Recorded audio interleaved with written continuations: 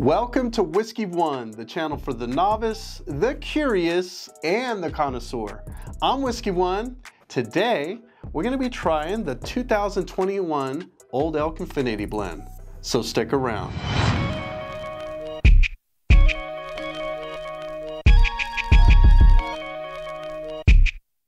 All right, folks, so I'm very excited to try this. Uh, this will be the first time that I ever get to try the Infinity Blend. This is a couple years old, so it's an older release, but I have seen these come out on an annual basis. Um, now we'll get into the whole like story behind it, but one thing I want to just point out is not only am I excited to try it, uh, for the first time. I'm excited that Erik let us have this bottle without first getting into it himself. So this is a fresh unboxing as well as a fresh uncorking. So let's try this sucker out. Get a nice, nice presentation here. Um, you know, not over the top as far as uh, presentation cases go, but you know, certainly, certainly nice. Where I think it's really going to shine is the um, the juice inside the bottle. I have a I have a feeling that this is going to be something a little fun to try. Again, you guys that you know have been into whiskey for even just a, a, few months or even a year probably have thought about doing an infinity bottle. You basically take different whiskeys, bourbons, ryes, and blend them. You know, your favorites usually get blended together in your own little decanter. Um, uh, decanter, sorry, and you know, you give it a try, and over time, who knows, you might come across a gem that you came up with yourself. And that's kind of the idea behind this bottling is that, you know, Greg Metz, who's the master blender, uh, the man behind the brand, um, who usually who used to work for MGP, uh, decided to come up with a blend. And this is in particular a 60% blend of Old Elk straight bourbon whiskey, aged six years, 24% Kentucky straight bourbon whiskey, aged for 12 years. So we got we got some old juice in this bottle. And then lastly, 16% Kentucky straight bourbon that's been aged for 11 years. Now, they don't really go into the deets on what Kentucky straight bourbon they got their hands on. Uh, but if any of you whiskey nerds out there happen to know those kind of deets, you let me know. I would love to see that. Drop it in the comments. So without further ado, let's get into it, shall we? Now, before I get into pouring, I do have a Glen hat. Glencairn cover here. Whiskey One. Glencairns, uh, Glencairn hats or Glen hats. What the hell you call these things? Glen hats. Keep it simple, right? We have some left in gold. Uh, if you guys are considering subscribing or you do support us and we haven't sent you any of these yet, definitely hit me up, message me, and let me know that you're interested because these are freebies. I do have them in a couple of different colors. Got some gold left, like I said, some turquoise. I have in black. Uh, I'll show that off here in a sec. Check that out. We got the, uh, the black with the turquoise and gold logo there. And then we do have, I believe, a copper. Got a metallic copper and also a metallic turquoise with the metallic copper logo there. So hit us up. Let, me, let us know that you're interested and we'll send those out to you free of charge. Okay, so let's get into the whiskey. Uh, starting with the nose. All right, folks. Nice color too. Um, not overly dark, just a nice caramel color to it. Little red.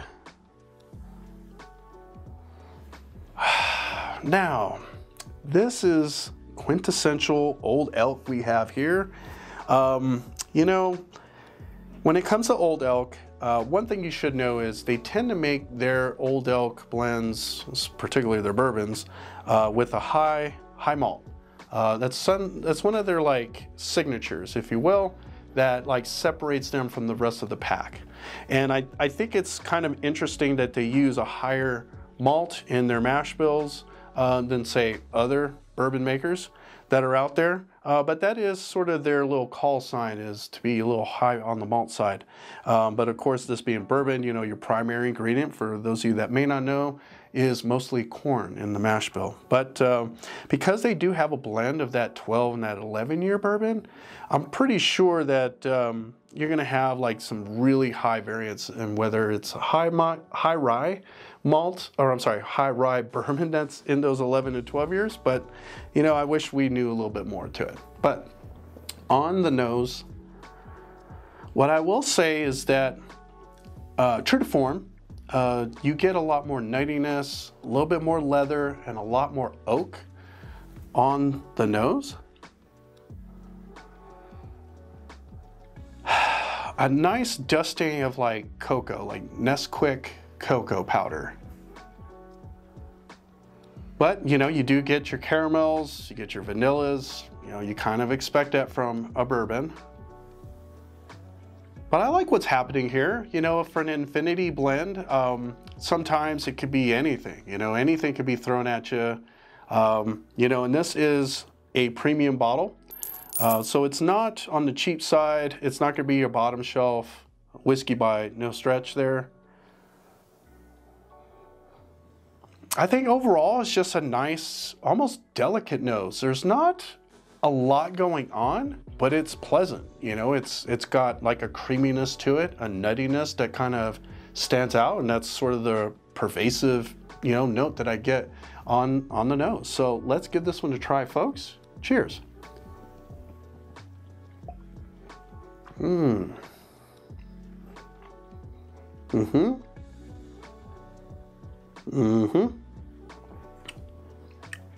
Oh, okay.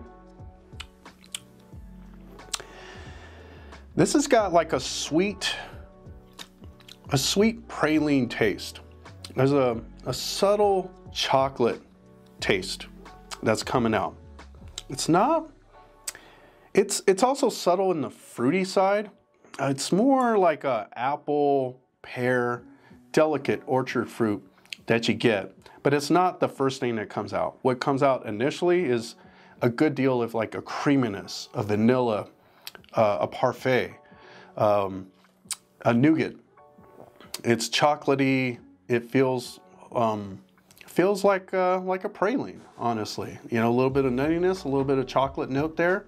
Uh, it's not overly sweet. Uh, and that was just the initial sip. So let's give this one another another go around.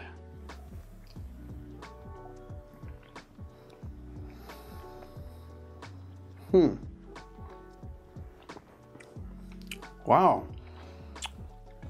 You know, for being higher on the on the proof side, it drinks really easy. It drinks well below its proof.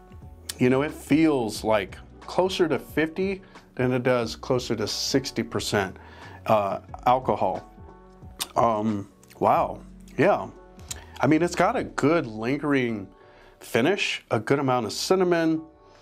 You get uh, like anise, so it does have a like a twinge, little slight slight touch of that rye rye spice, but uh, I, I, certainly think it's more like dusty oak, leathery, nutty than I, I think it's it's spicy. But certainly on the finish, wow, it kind of hangs on to that palate. I'm really like surprised by this.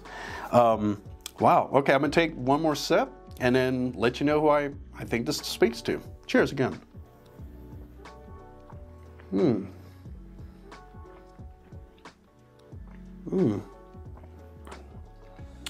You know, yeah, the fruitiness kind of jumps out a little bit more on those return sips. A lot more pear, a lot more apple pie. You know, you get that baking crust, that, that nice, crisp, golden crust taste. Um, a little bit of baguette, French baguette. Um, but again, it's it feels more like like you're entering a barn or something like that, where a lot of haze jumping out, feels dusty, feels a little woody. Uh, but I, I certainly like it. I like what they did. It, there's nothing like that is competing with one another, right? It's a nice blend. It's a nice uh, marriage, if if you will, of different bourbons, and I think this hits the mark for me. Um, I want to make a quick comment um, before I wrap up. You might notice a little bit of new surroundings. So if you guys are new to the channel, you probably haven't noticed much yet, uh, but you will start to see the channel evolve into more of a podcast environment, more of a podcast feel where we have guests from you know around the world uh, that are able to tune into us. They'll be featured on the TV here. I'll have different guests that um, attend the show. In the past, we've had plenty that attend. You know, you know, do a little tasting with us, do some reviews with us down at the uh, bar, and where you see a lot more whiskey. And you're probably wondering, well, what happened to all that whiskey? Have no fear. I still have it. Uh, but we decided to turn one of our rooms into more of a dedicated studio space uh, just to be a little bit more conducive on the sound quality. Uh, trying to record podcasts in the bar was not sound conducive, so we decided to kind of change things up. So you'll start to see this evolve a little bit. Uh, those of you guys watching, if you have any ideas or suggestions that could make our background or the overall feel of the podcast pop, hit us up. Let me know. I would love to hear your thoughts. And I know some of you guys are return sippers and you regularly tune into the show. My hat's off to you. I really appreciate all the love and the support that you show us. So, especially you guys that are Patreons, um, I really appreciate you guys continues to support us and helping the channel to grow. Um, so if you guys are interested in becoming a Patreon, I'll leave uh, information here within the video so that you guys can check out our tiers and let me know if you want to join. Uh, Whiskey fam, uh, overall, I would have to say that this is a dram for the whiskey connoisseur. 100%. Um, there's something to be said about Old Elk. I feel that Old Elk is different from the pack. There is just something about the namesake Old Elk. It makes you feel like you're in a log cabin you've been out hunting and now you're just gonna kick your feet up, you know, rest those dogs after a nice long hunt and enjoy the moment after your kill and uh, sip a little good old time whiskey. And that's kind of what this feels like. This feels like a grandfather's whiskey, uh, an older gentleman's whiskey. Now, you guys may have also noticed that um, I've been letting the uh, chops grow. I've been letting the, the beard get a little long, okay? Uh, I decided to take No Shave November to a whole new level, and this is probably the longest my beard has ever grown. And I would love to hear your thoughts. Uh, should I continue to grow this sucker out? Do, is it time for a shave? Do you, do you want the old me to come back uh, with a nice clean cut? Or what? Let me know. Drop a comment. I would love to hear your feedback on that. Uh, my wife personally wants to see this continue to get longer. I, I don't know what the draw is, uh, but you know, a little salt and pepper does does does the ladies does the ladies good. All right, so enough of that. one lady, one lady and all, only one. The love of my life. All right, so now to wrap things up, folks. Thank you all for joining us and sharing your time with us. You could have been anywhere in the world, but you decided to stick around and hang out with us. And here at Whiskey One, it's about the one you enjoy. Cheers.